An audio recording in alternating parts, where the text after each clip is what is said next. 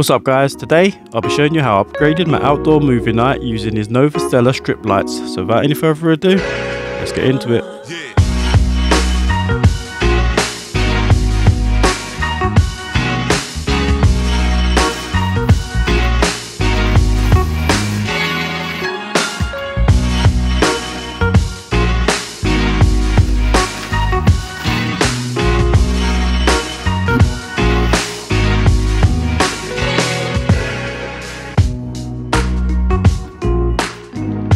In the box, you'll find a pack of cable ties, the user guide, a pack of screws and clips to keep the light strip in place, the remote control that uses RF for better range and control, a battery for the controller, the power plug and adapters, plus glue and caps for if you decide to cut these down to a desired length.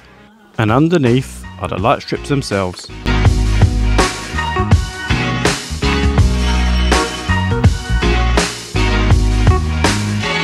A big thank you for Novostella for sending out their RGB 52.5 foot or 16 meter model. This is perfect for what I want to achieve. They are IP65 waterproof rated, meaning you'll have no problem leaving these out all year round. Now these are unboxed, the only thing left to do now is to get to work on the garden. For this project, I'll be also upgrading my projector screen as well as painting the shed, putting up some decor paneling and installing a small water feature. After painting the shed, I then made a trip to a UK company called Screen with Envy. They specialise in garden panelling and have tons of designs and luckily for me they were doing a warehouse clearance so I managed to pick some up for a very good price.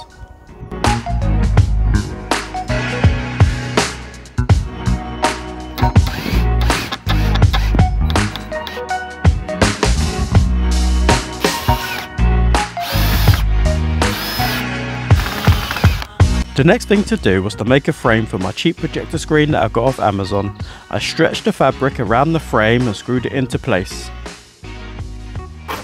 I then cut some wood to make a border, painted it dark grey and screwed it to the screen leaving a couple of inches gap for me to place the lights around. I then got to work screwing in the brackets to hold the lights in place.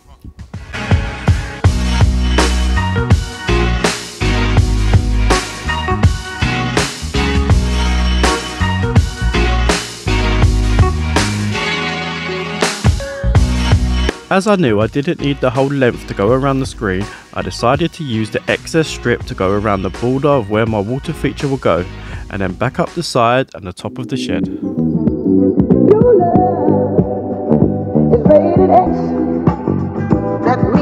extra, extra.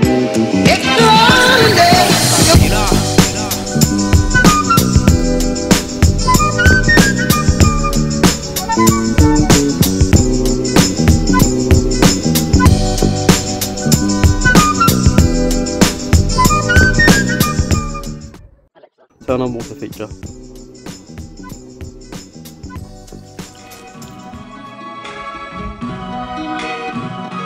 With it all completed, the only thing left to do was to wait until night time and see how it all came together.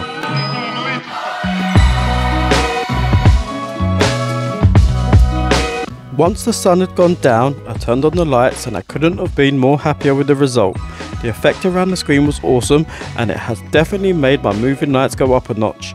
The effect I got from the lights going around the garden stones was outstanding. The colours were bright and vibrant and easy to control, whether using the remote control or using the app. Overall, I'm over the moon with how it turned out.